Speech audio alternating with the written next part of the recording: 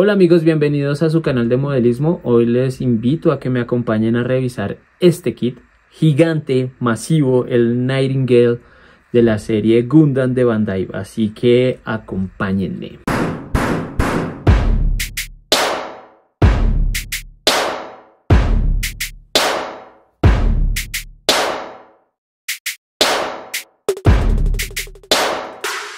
Bueno, como les decía, esto es un kit gigante. De hecho, creo que va a ser un poco compleja la, el, preview.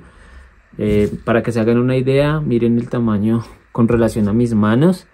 Ya había hecho un pequeño destape inicial. Por aquí vamos a ver algunas imágenes con relación a, algunas características que tiene el modelo, como de sus patas, eh, los escudos, el escudo del armamento, eh, aquí vemos algunas imágenes. Por aquí vamos a ver la caja que es un kit en escala HG en 1.144 que es el número 240 de la versión Universal Century. Por acá vamos a ver algunas características físicas de cómo se ve el modelo una vez ensamblado y por acá creo que está el número del kit, que si no estoy más el 50 61 787. Es un kit muy grande. Vamos a partir este preview en dos partes. Les voy a mostrar lo que viene en la caja y después vamos a analizar el sprue por, por sprue en la mesa normal. Aquí tenemos un sprue. Y de hecho, mire que la caja viene dividida. Acá tenemos otra parte. Las piezas son supremamente grandes. Aquí van tres tenemos miren el tamaño del escudo es casi igual de grande al tamaño de mi mano.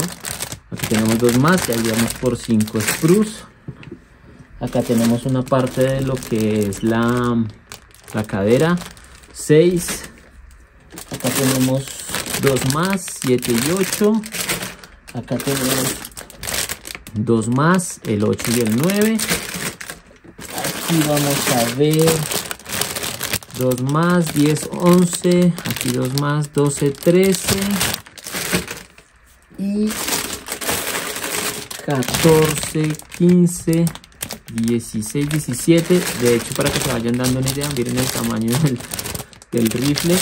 Y entonces vemos que tenemos 16 sprues. Voy a hacer un corte, voy a pasar a la mesa y voy a empezar a destapar porque los sprues por sí solos pues sí caben en, en mi mesa de trabajo. Así que no se despeguen.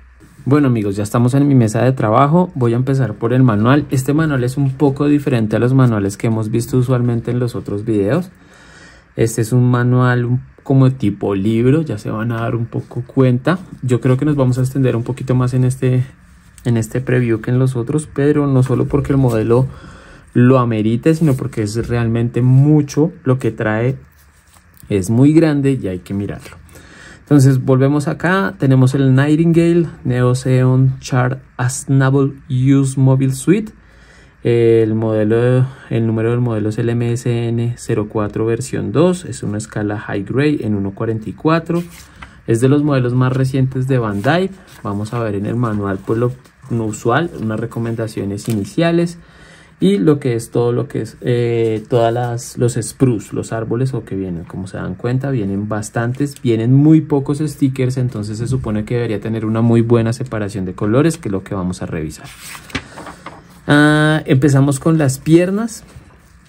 Después aquí tenemos la pierna de ah, la parte como cómo llamarlo el fémur de las piernas. Después van las el pie derecho el pie izquierdo Aquí vemos el tamaño de los pies, obviamente tiene que ser bastante grande para soportar el peso del modelo y pues también para darle estabilidad. Por acá vamos a la cadera. En la cadera como podemos ver tiene múltiples partes de múltiples colores, eh, hasta donde se vienen rojo, amarillo y blanco. Eh, la cadera también es bastante preeminente. Aquí hacemos la unión de las dos piernas con la cadera.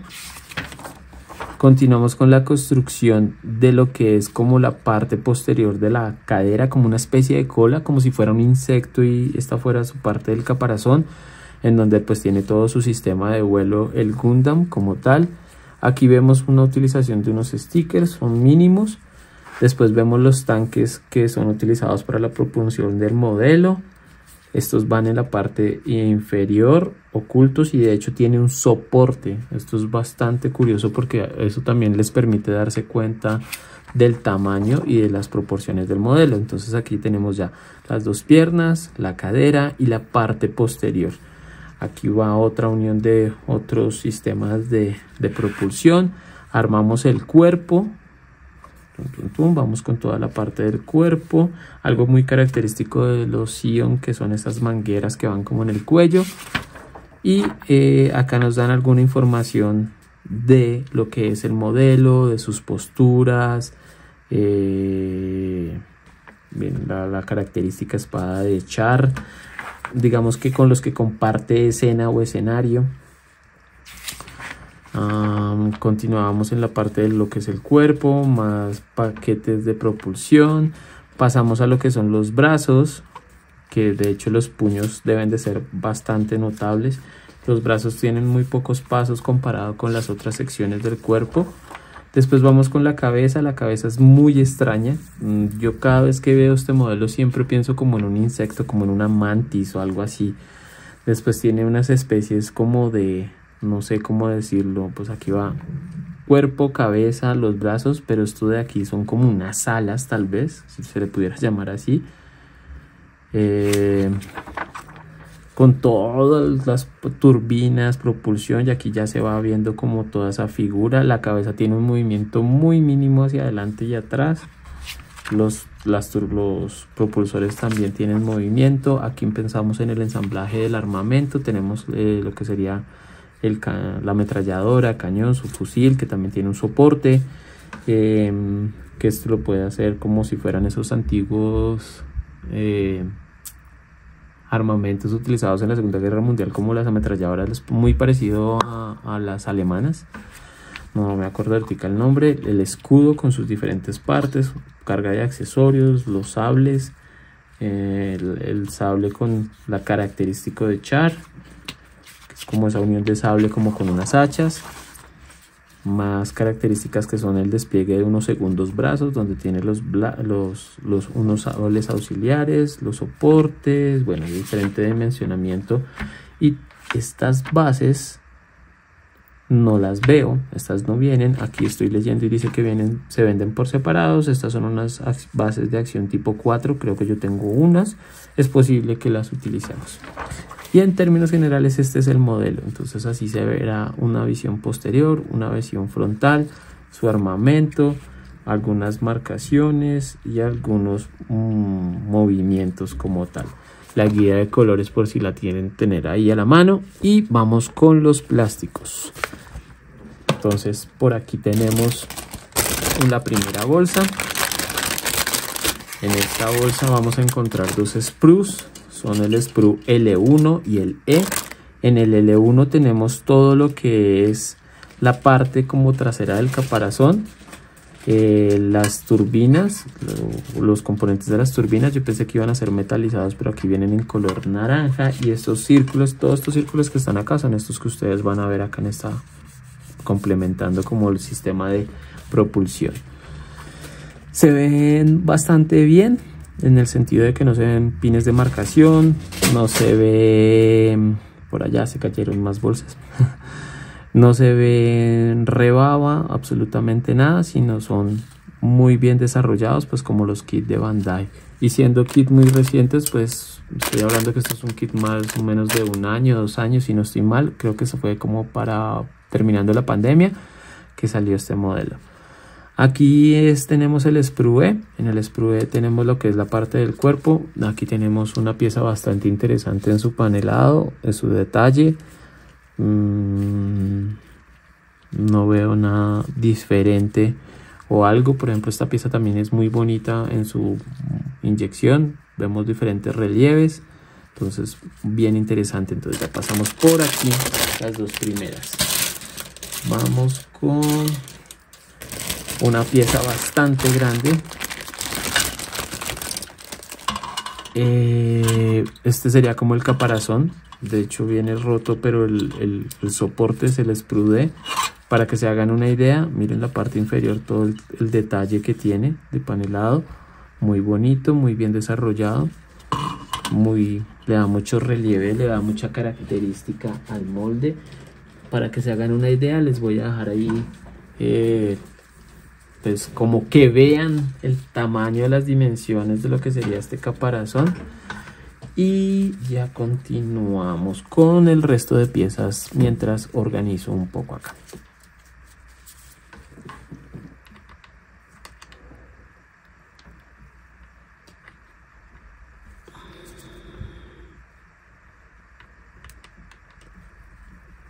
Ese aquí un favor, conecta el portátil rápido.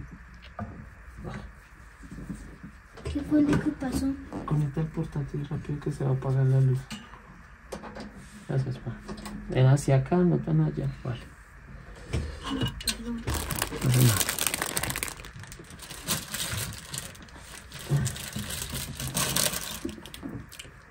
Bueno, continuando con, con los screws, vamos con el siguiente, que es este aquí. Aquí tenemos los... un- uy, con cuidado para no ir a partir nada. Ok, aquí tenemos la hoja de stickers, muy poquitos stickers, de hecho son como las marcaciones del batallón y demás.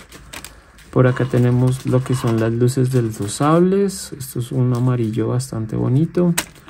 Y este es el sprue A1 y A2 que viene con tres, cuatro colores en un solo molde. Todo lo que es la parte del sable principal, una parte del escudo, algunos componentes de lo que es el cuerpo. Cuando hablo del cuerpo estoy hablando de la cadera puntualmente. Y estos, si no estoy mal, son parte de los brazos. Listo. Y este también aquí viene marcado como el A2 el tamaño del escudo, háganse una idea. Es un componente nomás del escudo, no es como tal el escudo. Vamos con la siguiente, el siguiente screw. Es este que está acá. Este es el screw G. Espero que esté quedando todo. Aquí vemos algunos, estos son como unos cañones que tienen sobre ese tipo de alas. Miren, por ejemplo, estas piezas tienen un relieve muy bonito, muy detallado. Mm, esto es parte del caparazón o del cuerpo que tiene la parte posterior. Eh, por aquí tenemos una parte de los pies, estos que están acá. Esto es parte de la cadera. Mm, Y creo que ya es todo. Esta pieza también me parece muy interesante el detalle de la inyección. Entonces ahí se las dejo para que lo observen. Aquí tenemos los soportes de los sables y es bastante grande. Bueno, continuemos con estos de acá. Aquí tenemos dos screws más. Este ya habíamos visto uno, lo voy a omitir, pues es el mismo que vimos anteriormente. Otras hojas de sticker que aquí están los ojos. Am, aquí están algunas partes de los brazos, lo que serían como las mangas. Acá tenemos lo que son los tanques como de propulsión o del sistema de alimentación de propulsión. Lástima que estos siempre vengan separados, eso es lo que pues Bandai hace usualmente, pero pues esta separación siempre deja líneas de marcación. Entonces es algo que no, que no es muy agradable, aunque entiendo que lo hacen pues como por generar la sensación y el tema de ensamblado, pero no es tan atractivo. Vamos con el siguiente. Vamos a quitar esta bolsa de acá. Acá tenemos más dorados, que estos son diferentes opciones para armar el arma, que es como un tipo sable. Acá otro sable más pequeño, que son para los brazos inferiores. Listo. Y aquí tenemos el sprue, este es el I, donde vamos a encontrar parte de opciones de las caderas, las mangueras del cuello, esta cañón ametralladora. Miren por ejemplo el detalle de esta pieza. Es muy, muy, muy elaborado, con muchos relieves. Tiene bastantes características de relieve, al igual que estos. Miren las manos, unas de posturas, unas del arma. Son unas manos bastante grandes, pero pues hacen una idea del tamaño del arma, como para que vayan viendo las dimensiones de, del modelo. Sé que lo he repetido mucho, pero es que realmente el tamaño de este modelo es bastante impresionante. Continuamos con otro sprue. Este es el G. más partes de lo que serían el caparazón. Creo que es, este es como que si viniera clonado, si es igual el Aquí tenemos unas partes de la pierna. Ah, no, esto no son las partes de la caparazón. Estas son las partes que van en la, hacia los dos costados que les parecía yo que parecían como unas alas de ese insecto. Entonces ahí se ven. Pues ya lo habíamos echado una mirada previamente. Entonces no me voy a detener mucho. Sigamos con este Aquí tenemos dos sprues iguales, que estos son más que nada el K. Y en el K encontramos algunos turbinas. Estos son partes de los pies, todas estas de acá. Estos son de los hombros, estos también. Y así, como que son parte de las articulaciones del modelo como tal. Aunque yo creo que la movilidad, este, aquí están los soportes, por ejemplo, de la ametralladora la movilidad de este modelo no creo que sea la mejor, no creo que sea tan, tan fluida. Creo que es un modelo más bien para generar una postura y que tenga solidez en esa postura, o eso es lo que yo esperaría. Si tiene bastante maniobrabilidad o movilidad, pues sería un plus, pero pues, por las dimensiones no lo creo. Este es el Sprue M1, que es una réplica del uno que ya vimos anteriormente. Sistemas de propulsión, mangas, me voy a detener mucho por acá. Por acá tenemos el Sprue C, que estos son parte de los pies, son como una especie de bota de los pies. Entonces para que se den cuenta el detalle, lo bien desarrollados que se ven. Aquí tampoco me voy a detener mucho. Estos dos sprues vienen por partida doble. Vamos aquí con a ver vamos a dejar este de acá. Este es el sprue J1 sistemas de propulsión más sistemas de propulsión como las turbinas por decirlo de alguna forma. Alguna parte esto debe ser si no estoy mal de los brazos de las de las alas con lo que parecen como simular unas alas. Y por acá tenemos otro sprue igual que es el J2 entonces efectivamente esto va a ser la parte inferior de las alas. Tiene muchísimo detalle muchísimo relieve entonces es muy interesante ver esos moldes de inyección también desarrollados. Vamos con me quedan dos más. De hecho aquí hay uno que viene casi suelto. Voy a quitarle acá antes de que se termine de saltar. Listo. aquí tenemos un sprue en el que vamos a ver el escudo el escudo es muy grande, tamaño de mi mano. Una parte de la cadera, el hacha con el que sostiene como ese sable de colores. Es todo esto hace parte de, de lo que sería la cadera. Y lo que vamos a ver a continuación son todas las partes internas o inferiores de ese, de ese modelo. Entonces por acá tenemos el sprue H. Eh, ¿Esto qué es? Sí, el H y este sprue yo creo que es demasiado bonito en el sentido de toda la cantidad de piezas, detalles, relieves, diferentes mm, alturas en los moldes de inyección. Como se pueden dar cuenta, por ejemplo, nomás en esta sola pieza, pero es que no solo esta, aquí tenemos otro relieve y otro detalle, aquí lo mismo. Entonces es muy, muy, muy, muy elaborado. Esta pieza venía suelta, pero pues no es tan relevante y esto es parte de lo que le da soporte a la cadera. Entonces es un molde muy bonito muy muy interesante. Bueno y ahí ya tendríamos todos los sprues eh, quiero contarles algo adicional con este modelo y es que la intención por la cual saqué este modelo para ensamblarlo en este momento es porque hay una empresa colombiana que se llama Aerocrate que está generando un concurso eh, en todo el tema de modelismo. Entonces voy a participar, seleccioné este modelo porque me parece bastante llamativo, pero es un modelo que voy a armar igual como he venido armando todos mis modelos, tal cual como viene de la caja. Inicialmente, tal vez más adelante me decida pintarlo, cambiarle el color rojo porque he visto muchos ejemplos donde les cambian el color rojo por un color rojo brillante y resalta muchísimo pero digamos que por el tiempo que tengo y por la idea del canal en donde siempre es traerles ustedes los modelos tal cual vienen para que ustedes eh, tomen esa mm, decisión y esa confianza en ver que pueden también ensamblarlos pues inicialmente lo voy a trabajar así. Entonces, como les decía, vamos a desarrollar este modelo. La idea es presentarlo en el concurso sin ninguna motivación adicional de apoyar el mismo y pues también eh, incentivar eh, el concurso como tal. Les advierto y les comunico que no es un tema que me estén pagando, eh, esto no es patrocinado ni nada, es una decisión personal en donde pues la estoy compartiendo con ustedes que son la comunidad del canal.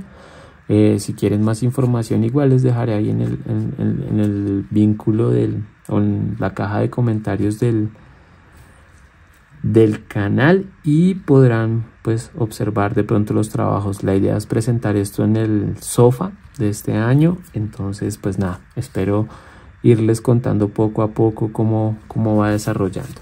Ahora en cuanto al modelo, es un modelo que estéticamente a mí me parece muy interesante por sus dimensiones. Eh, es tiene un aspecto diferente a la mayoría de los Gundam que son casi como robots humanoides. Aquí estamos viendo que es como una especie de insecto y tiene muchas características que, llaman la atención por el tamaño de la figura. Como les digo, no creo que sea un modelo que vaya a brillar por su movilidad. Creo que va a ser un modelo que más eh, que todo va a brillar es por esa capacidad de, de, asombro que generan las dimensiones. Espero que tenga una buena tolerancia, que los plásticos se mantengan solos, que no sea de esos modelos que son muy grandes pero que son un dolor de cabeza porque se van soltando todas las piezas y demás. Así que nada amigos, esto era lo que les quería compartir el día de hoy. Ya saben, este, eh, vamos a ensamblarlo tal, tal como viene de caja. Irá para el concurso generado por Aerocrate. No es patrocinado, es totalmente algo invitacional y voy a participar. Y eh, si tienen dudas, preguntas, comentarios, no olviden dejarlos que yo estaré atento a contestárselos. Y de igual manera, no olviden dejar su like, es totalmente gratis, es muy sencillo y me ayuda muchísimo y me muestra ese apoyo de parte de ustedes. No olviden suscribirse al canal y no olviden eh, compartir esto para que más gente se una a este tema del modelismo. Así que no siendo nada más amigos, un abrazo modelista, estamos en contacto, éxitos y bye.